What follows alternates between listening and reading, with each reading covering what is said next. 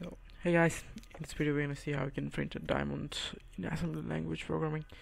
So, we're not going to use, uh, we're not going to get things difficult, or we're gonna use uh, our triangle and reverse triangle technique to print the diamond. So, so basically this is a triangle. So, in the previous video we have seen how we can print a triangle and reverse triangle. Uh, we print a triangle and then we print a reverse triangle together then you'd be able to print a diamond. So I guess you have seen those videos before and I'm not going to write code it right now. I'm just gonna copy copy them and just gonna show you how how it works. And this is for the the upper portion of the diamond here okay just run it. It's gonna print a triangle. Just like that. And okay.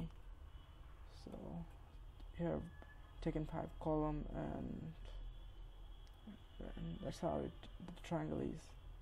Triangle of five column now. Now I have to make it into a diamond shape. So you can now uh, print a reverse triangle. Alright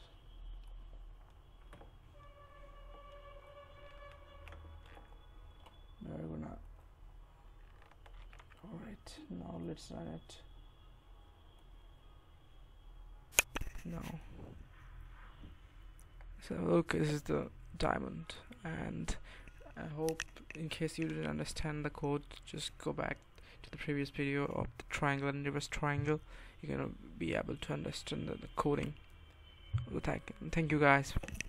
Thank you for watching. Bye